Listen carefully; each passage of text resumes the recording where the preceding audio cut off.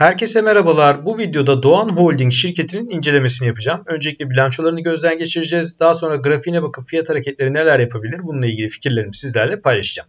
Biliyorsunuz hafta içi her gün 3 şirketin incelemesini yapıp sizlerle paylaşıyorum. Bu 3 şirketi sizlerden gelen talepler doğrultusunda belirliyorum. O yüzden bundan sonraki videolarda hangi şirketlerin incelenmesini istiyorsanız lütfen videonun yorumlar kısmına yazınız. Benim bu şirkette hiçbir pozisyonum yok. Ben pozisyon taşıdığım şirketleri katıl abonelerine özel portföy yönetiyorum bölümünde açıklıyorum. Daha fazla istifade etmek isteyenler oraya katılabilirler. Şimdi incelememize başlayalım. 10 çeyreklik olarak Türk lirası bazlı bilançoları gözden geçirdiğimizde satışların toplam hasılatın daha doğrusu e, sürekli olarak artma eğiliminde olduğunu görüyoruz. Faaliyet karı son dönemde biraz stabil seviyeye erişmiş. Net kar tarafında dalgalı bir yapı var. Tek seferlik gelirler ve giderler nedeniyle. Dolar bazlı bakalım ve kur etkisinden biraz arındırmış olalım. Dolar bazlı baktığımızda da aslında orta vadede toplam hasılatın sürekli artma eğiliminde olduğunu görüyoruz. Fakat faaliyet karı tarafı çok da iyi değil. Ee, özellikle son çeyrek çok iyi gelmemiş ya da bir önceki çeyreğin çok iyi gelmesi nedeniyle dengeleme yapmış da diyebiliriz. Net kar tarafında da dalgalı bir seyir izliyoruz. Fiili dolaşım oranı 35.70. Ben halka açıklık oranı 15 ile 40 arasındaki şirketlerin güvenli bölgede olduğunu düşünüyorum. Bu şirketin halka açıklık oranı da gayet güzel gibi görünüyor. Çarpanlarına baktığımız zaman çok düşük çarpanlarla işlem görüyor. Fiyatın çok ucuz olduğunu bize gösteriyor. Bu çarpanlar e, olması gereken değere göre fiyatın aşağıda kalmış olabileceğine yönelik bir fikir veriyor. E, fakat holdinglerde zaten e, genelde düşük çarpanlarla işlem görüyor Türkiye'de bütün holdingler diyebilirim. Ortaklık yapısına baktığımız zaman Yaşar Begümhan Doğan Faralyalı %11.58 sermayedeki payı oy hakkı oranı da 11.58. Arzuhan Yalçın da 11.52 11.52 Hanzade Vasfiye Doğan Boyner 11.48'e 11.48, Vuslat Sabancı 11.48'e 11.48, Işıl Doğan 9.51'e 9.51 ve Aydın Doğan 8.56'ya 8.56. Halka açık kısım %35.87'ye %35.87 eşit ve adil bir dağılım var. Böyle eşit ve adil dağılımı olan şirketleri uzun vadeli sepetime de ben ekleyebiliyorum. Takdir sizlerin. Sizler yatırım yapmadan önce mutlaka şirketin hakim ortaklarını araştırmalısınız. Bu kişilerle ortak olmayı ister misiniz, istemez misiniz? Kendiniz karar vermelisiniz.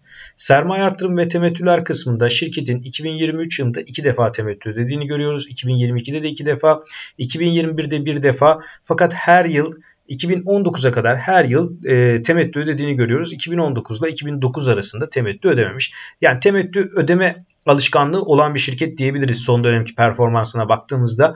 O yüzden temettü yatırımcılarının da ilgisini çekebilecek bir şirket olabilir. Temettü verimi çok yüksek değil ama. Sermaye arttırımları tarafında şirket en son 2014 yılında sermaye arttırımı yapmış. Ee, yakın zamanda büyük bir enflasyon yaşadığımız için tekrar bir sermaye arttırımı ihtiyacı oluşabilir. Fon pozisyonları tarafında birçok yatırım fonunun bu şirkette yatırımcı olduğunu görüyoruz.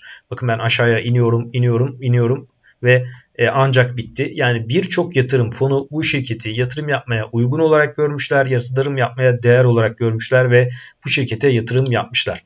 Geri alımlar tarafına baktığımızda şirket 7 Şubat 2024 yani dün en son geri alımını yapmış. Daha önce 2 Şubat 2024'te yapmış, 31 Ocak 2024'te yapmış. Yani bu şirket geri alım yapıyor ve e, şirketin şu anki fiyatının uygun olmadığını, adil olmadığını düşündüğünü piyasaya ilan ediyor.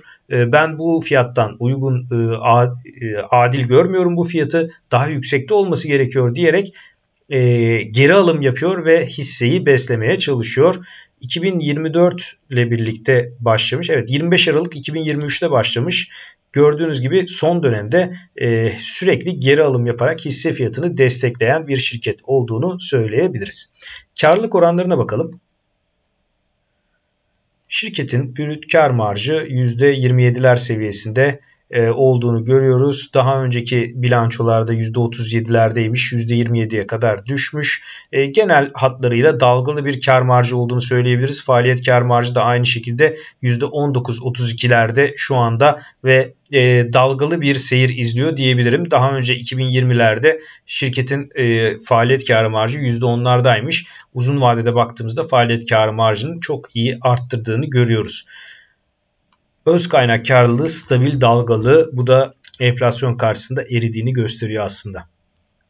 Şöyle bir de borçluluk tarafına bakalım. Şirket nette pozitif bir şirket borçlu değil. Finansman maliyetinin arttığı bir ortamda nette pozitif şirketlerin daha iyi performans gösterebileceğini düşünebiliriz. Borçlulukla ilgili herhangi bir sorunu yok. Bir de grafiğine bakalım. Grafik acaba bize neler söyleyecek? Grafikte Borsa İstanbul'un yükselişiyle birlikte yükselen daha sonra düzeltmesiyle birlikte düzeltmesini yapan Borsa İstanbul'un yükseliş trendine geçmesiyle birlikte tekrar yükseliş trendine geçen bir şirket görüyoruz. Geri alımında etkili olduğunu görüyoruz. Çünkü iyi bir yükseliş sergilemiş şirket e, Borsa İstanbul'un genel yükselişinden daha fazla yükselmiş. Endeks anlamında endeksten daha fazla yükselmiş diyebiliriz. E, buradaki yükselişin en azından 17.68'e kadar gitme ihtimali yüksek gibi görünüyor. 15.28 bölgesi yine bir direnç olarak çalışabilir. Şirketin çarpanları çok düşük yani fiyatı çok yüksek değil. E, o yüzden e, Borsa İstanbul'daki genel yükseliş trendi devam ettiği sürece e, tutulabilecek şirketlerden birisi gibi göründü. Bana e, geri alım yapıyor olması da e, şirketin hani e, için pozitif bir durum, hisse fiyatı için pozitif bir durum, yatırımcılar için pozitif bir durum olarak görüyorum. Dolar bazlı grafiğine bakalım. Acaba dolar bazlı grafikte görüntü nasıl?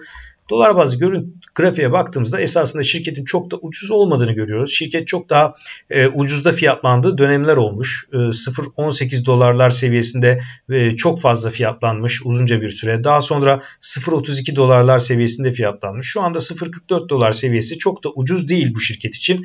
Fakat yukarıda 0.53 dolara kadar gidebilir ve buralarda kar realizasyonu yapmak doğru olabilir.